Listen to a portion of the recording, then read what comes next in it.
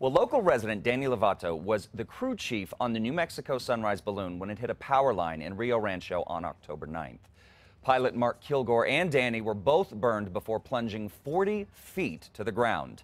Mark was released from the hospital, but Danny was severely burned. Now, tomorrow, a benefit car show is being held to help Danny and his wife Peggy offset major medical expenses.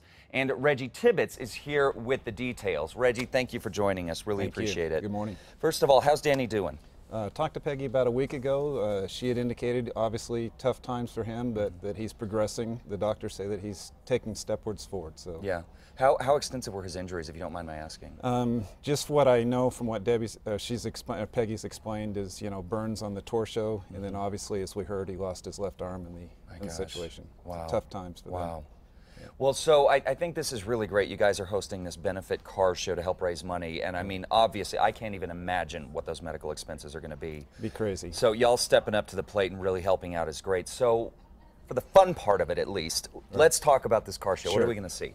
Sure. Well, the uh, show will be obviously this Saturday at the Hooters East Restaurant at San Mateo, uh, just north of Montgomery. Uh, we do a bunch of sh- car shows all year long, but this is going to be a good one. You know, it's it's for a great benefit for Danny and his wife. And uh, the show starts uh, setting up between 7 and 11 in the morning, and then we have the show from 11 to 4:30. Uh, and it's not just for the car people. I mean, you know, we're going to have a full selection of awards for people that have cars that want to come out and show their cars.